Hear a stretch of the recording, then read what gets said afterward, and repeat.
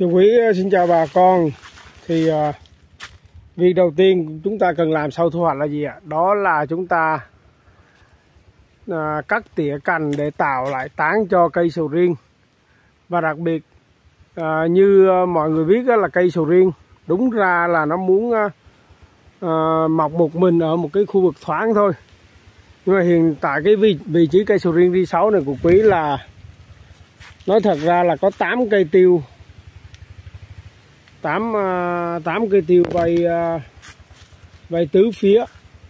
Chính vì vậy cái cành nó sẽ khó vươn dài vươn xa thì vị trí nào thoáng nó sẽ vươn ra.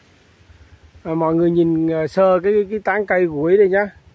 Sau khi quý tỉa đi những cái cành những cái cành bé nhỏ hơn và những cái cành tâm chúng ta cần tạo một cái độ thoáng vừa phải một cái độ thoáng để cho cây sầu riêng được tiếp nhận đầy đủ ánh sáng một là ánh sáng trực tiếp ở trên cao, mặt trời hoặc là đường chéo, thì cây của chúng ta nó sẽ đều cành và phát triển đều hơn. Đó là cái làm của quý bước thứ hai là à, quý vị à, bón phân nở để chúng ta phục hồi cây sau khi thời gian mang trái. Và thứ ba là chúng ta rửa vườn. Chúng ta tiến hành rửa vườn đó là phun à, những loại à, phân bón thuốc gốc đồng thuốc gốc đồng để cho chúng ta tẩy sạch những cái à, lá bệnh à, xuống dưới đất. Để nó rụng hết những cái lá mà bị tảo bị nấm.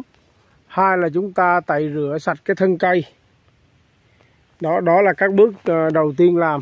Và hai là chúng ta cũng có thể à, sau khi bón phân nở chúng ta có thể bón thêm cái 30 10 10 và khi đọt non ra hoặc là phun cả ở trên là chúng ta tiến hành phun bảo vệ cái dàn lá non nếu trường hợp có rầy xanh hoặc rầy trắng tấn công. Ờ, xin chân thành cảm ơn bà con đã quan tâm theo dõi.